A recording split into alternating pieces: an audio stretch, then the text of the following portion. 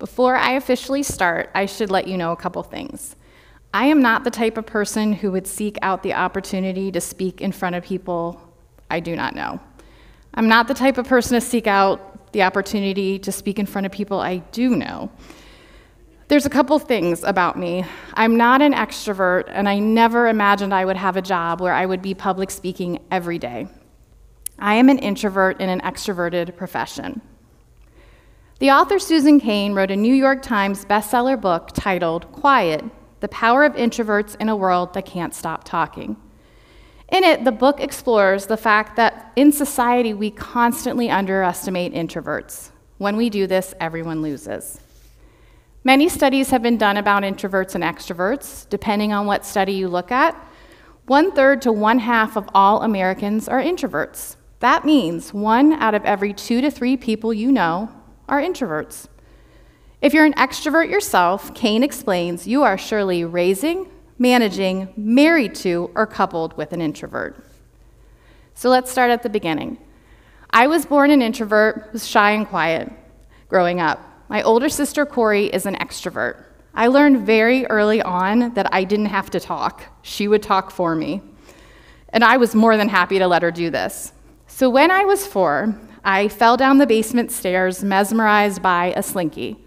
Unsure of my injuries, we went to the hospital. When asked what hurt, my sister started rattling off my ailments. The doctor politely told my sister that he would love to hear from the patient, me. I thought she was doing a great job, guys. Um, it was my head that hurt, not my arm, but I figured he would figure that out at some point. He went to college for a while, so come on, isn't that really what he was supposed to do? So he's a professional, he should have already known. All through school, I continued to be quiet and shy. I remember learning about the differences between introverts and extroverts in elementary school. According to my teacher, extroverts were the life of the party, talkative, friendly. She then explained introverts as reserved bookworms who would rather be by themselves than interact with others. I remember sinking down in my seat and realizing that I was an introvert and I was never going to be the life of the party. I thought about this as I stood up and screamed at her. Do you realize that this experience will stick with me forever and shape who I become as an adult? She put her hand to her chest and was taken aback. You guys, none of that happened. Um, I put my nose back in my book and kept reading because I'm an introvert. Come on. the idea that extroverts are fun and introverts are quiet is a misconception. In her book, Cain explains introverts aren't necessarily shy. Shyness is the fear of social disapproval or humiliation, while introversion is a preference for environments that, not over, are, that are not overstimulating. So often in society, we try to make issues black or white, this or that, when really we know most situations are gray. So, without a doubt, I was a shy, introverted child. But with age and experience, I'm no longer shy, but I still prefer an environment that is not overstimulating. In the article, How Black and White Thinking Hurts You and What You Can Do to Change It, Rebecca Joy Stanborough writes An all or nothing mindset does not allow for us to find the middle ground. Stanborough goes on to write that this all or nothing thinking can harm your relationships, keep you from learning, and it can limit your career along with other things. We must get away from saying introverts are this and extroverts are that. It's detrimental to a student's growth. It's a self fulfilling prophecy and it goes against the growth mindset. We want students to have the, use the growth mindset in their self talk and how they face challenges, whether it be in their life or at school. Instead of, I'm bad at math, we want them to say, I struggled on that one math test and I'll do better next time. In the same way, we must move away from equating extroverts to fun loving individuals, and introverts are described as socially awkward recluses. Unfortunately, we live in a world that caters to extroverts. In classrooms, teachers want students to speak up, participate, work well in groups. Students that don't talk that much are considered underachieving, non participatory, and boring. However, if you remember, one third to one half of all Americans are introverts. So instead of dismissing the quiet ones, we instead change our thinking. We give them the time and platform to comfortably speak. Even though I am an introvert, I definitely had extrovert experiences growing up. In fifth grade, I participated in the talent show at my school. My talent was telling jokes. in front of the entire school and many of my classmates' parents, I told my jokes and hoped for a laugh. My father ended up writing all the jokes for me. Side note, he didn't write this speech. I asked him, he said no. Uh, he said I was an adult. I remember one joke well. I remember one of my dad's jokes well, and I would like to tell it to you now. It's a classic dad joke. And at the time, I don't think I completely understood what I was saying, which also might have been a problem. so here's my dad joke. So the other night, I dreamt I ate a 20 pound marshmallow. And you guys get this. When I woke up, my pillow was gone. It was crickets in that jo- gym, much like it is right now, thanks. Uh, not even a pity laugh. It's fine. I'll talk to my therapist about it. Um, this also could have been due. This also could have been due to my flat delivery, or the fact that I only made eye contact with the gym floor. I was shaking and scared, but I did it. I know that this was not something a typical introvert would do. I had to push back, come out of my shell to do it. It was my first experience pretending to be an extrovert, and I only passed out once. I'm just joking. I didn't pass out. In college, I majored in English and was constantly asked if I was going to be a teacher. This annoyed me, and I said no. That sounds awful. The idea of being a writer was appealing. I love the idea of writing in my own office, be by myself, no one's gonna bother me. So after college, I worked in politics. I soon realized it wasn't the field for me. Thank- thankfully, through that job, I had some great opportunities. I took student tour groups around, I volunteered and tutored a third grader in reading. And I realized that I really enjoyed those experiences and liked working with students. So I decided to go back to school and get my master's degree in education.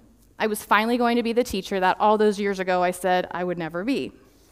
The funny thing is is that as an introvert, for me at least, getting in front of kids is much less daunting than getting up in front of adults. I know many other people, probably even in this room, would say they feel the opposite. They'd rather get up in front of adults. As an introvert, being a teacher is extremely draining. I would say teaching is a physically demanding and emotionally exhausting profession, no matter your personality. However, we introverts need downtime. Every day you are performing for a group of students. You have to leave your own personal problems at the door and give them 100%. When the day is over, I need to recharge and be quiet and be by myself. I'm not being mad, or I'm not mad, I'm not being antisocial, I just need time to power up and recharge for the next day. While teaching seems like an extroverted profession, there are actually many more introverts in education than you might think, and that's a good thing. We need a mix of extroverts and introverts in the classroom. This way, students will get information presented in different ways and hopefully connect with a teacher and an adult who understands them. So, what's the point? What's the point in any of this? I don't know. I blacked out a while ago and I'm on autopilot. I'm just kidding. Or am I? You'll never know. Introverts are really mysterious. the point is, is that we need to reframe how we look at introverts. We need to get away from the extrovert ideal. The extrovert ideal is defined as the omnipresent belief that the ideal self is gregarious, alpha, and comfortable in the spotlight. As a culture, we say we value individuality among people. However, as Cain explains, all too often we admire one type of individual, the kind who's comfortable putting himself out there. We need to remember how many things we would not have in this world if not for introverts. People like Sir Isaac Newton, W.B. Yeats, Frederick Chopin, George Orwell, and Steven Spielberg. They're all introverts. Google was co created by Larry Page, who is an introvert Without Larry Page, people would not be able to say they researched something when you know all they did was Google it. I have fallen into the extrovert ideal in both my professional and personal life. When I would rather go home and watch TV instead of going out with a group of friends, I ask myself, what is wrong with me? Why can't I be more social? As a teacher, I have told parents their students are too quiet and need to participate more, even though research has shown that introverts actually get better grades and are more knowledgeable than extroverts. Sometimes I forget that I was very much the same way when I was in school. I caught myself doing this the other day in class. During a book discussion, we described one character as an extrovert, bubbly, talkative. We described the other character as an introvert, socially awkward and shy. Later on, I realized my mistake that being an introvert does not equal being socially awkward or shy. I jokingly reminded my students that not all introverts are socially awkward, but I am. No one disagreed. That was a rough day for me. So, what can we do about this? First, we can stop acting like introverts are recluses. Are some introverts hermits? Sure. Are some extroverts shy? Yes. Here are some ideas. Stop with the, the all or nothing terms. Introvert does not equal shyness, just like extrovert does not equal fun. Believe me, I've met a lot of extroverts that are not fun at all, and they know who they are. Celebrate introverts and their many contributions to society. Examples Albert Einstein, Bill Gates, Mark Zuckerberg, and Jeff Bezos. Let go of the extrovert ideal. Nothing is ideal all of the time, it depends on the situation. Make places like schools more introvert friendly. Give students choices. Not every project has to be a group project. Don't always praise the first one to answer, give more wait time. Encourage students to pause and think. The loudest, quickest student should not always be the one to answer first. Schedule quiet time, t- quiet time during the school day. Just like some kids need to run around outside or run around in the gym to burn off energy, introverts need downtime. Think about pa- balancing your classroom decorations. Too many posters, uh, too, much, too much clutter can be overstimulating. Buildings should have more flexible seating areas so students can spread out. Introverts should have the opportunity to sit quietly. Encourage young introverts to explore professions that may be considered more for extroverts. Don't limit a young person before they have to, the chance to consider extroverted type careers. Allow introverts the space to find their own voice, speak up for themselves, and celebrate quiet reflection. In a world where we are constantly told to hurry up, we need to take a deep breath and learn to slow down and value the pause. If you had ever told my younger self that I would be giving a speech in front of an audience on purpose, I would have laughed at the absurdity. But here I am. I'm doing it. I'm an introvert with extrovert tendencies. The famous Swiss psychiatrist Carl Jung once said, There's no such thing as a pure introvert or extrovert. Such a person would be in the lunatic asylum. I'm not at all introvert, just like someone else is not all extrovert. I am an introvert with extrovert traits. We must get away from this all or nothing thinking about personality types. We must support our introverts and be aware of how our world is set up for extroverts.